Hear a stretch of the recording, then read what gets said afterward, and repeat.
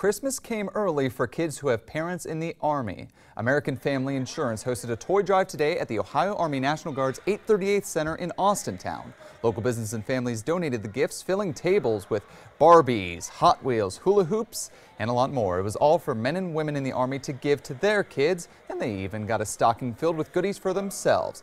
The insurance company says it's a way to give back to the folks who serve that the absence is felt by the entire family. We know that the, the joys are felt by the entire family when the soldier returns, and so ultimately it's about serving the family via the soldier. And the insurance company is already planning next year's toy drive for Army families.